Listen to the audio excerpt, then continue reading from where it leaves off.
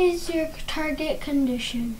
All of our clothes are in one spot. It takes us 45 minutes or less to uh, put clothes away. What is your current condition? We are putting away our own clean clothes, shirts hung in closets, dressers are across the room. It takes 52 minutes to put clothes away. What was your last step? Get shelves for clothes. What did you expect? They cost $10. What actually happened? They cost $30 each. What did you learn? They cost they costed more. What obstacles are, are preventing you from your target condition?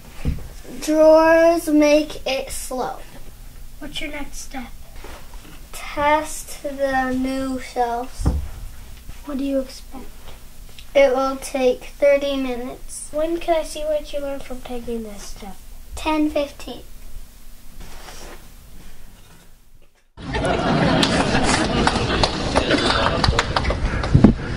So just just uh, a little more information on that. Before that, they did experiment on the idea that a shelf is better than the drawers. They actually got some cardboard boxes and laid them out, uh, open faced, and then they did a time study of putting their clothes away with the cardboard boxes, pretending that they were the shelves.